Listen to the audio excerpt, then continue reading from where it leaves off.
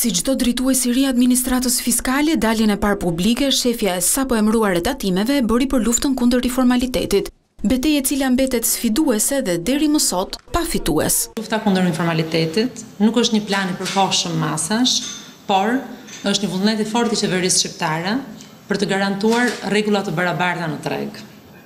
për të mbështetur biznesin, i cili respekton rregullat dhe punon çdo ditë për të siguruar fitime në mënyrë të ndershme. Gjatë konferencës për shtyp, Drejtoresha e Tatimeve bëri një bilanc të kontrolleve që nisën në terren nga data një deri në njëzet e një korrik. Në total janë kontrolluar një mijë subjekte, ndërsa shkeljet ishin të natyrave të ndryshme, por dominojnë ato që nuk lëshojnë kupon tatimor. Gjashtëdhjetë e dy subjekte janë konstatuar të paregjistruara në organet tatimore.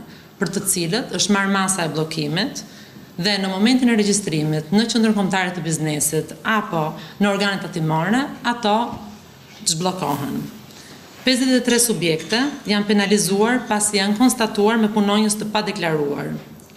Njëqind e gjashtë tatimpagues janë të penalizuar për moslëshim të kuponit tatimor, ndërsa dymbëdhjetë tatimpaguesve u janë bllokuar ambiente pasi moslëshimi i kuponit tatimor ka qenë një rast i përsëritur bllokimi i ambienteve zgjat tridhjetë ditë.